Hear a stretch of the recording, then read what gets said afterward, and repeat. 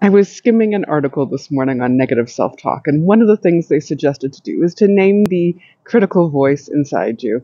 And the tough guys inside me were going, Oh, yeah, that'll help so much. Like, we don't have enough names already inside. And I thought it was so funny because I do have, or we have, um, groups of critical parts inside whose only job is to criticize me. And it's something that my abusers taught those parts of me to do intentionally. It was part of the mind control and the torture and abuse.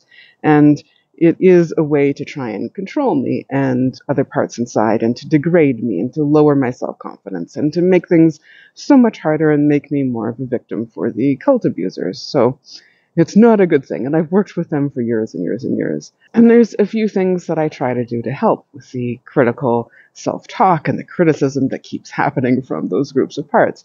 So I work with them directly with my therapist, talk to them, listen to them, and then ask them to change their jobs. I have a lot of groups of them. Um, but they do, some of them have been able to change their jobs to be more like a cheerleader for me and others inside. So that really helps. I also listen to what they say and I try to refute it. I'm not very good at refuting it at the time, but I can often do it later.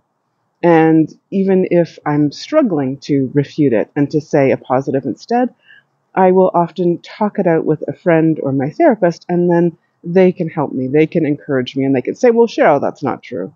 And that helps.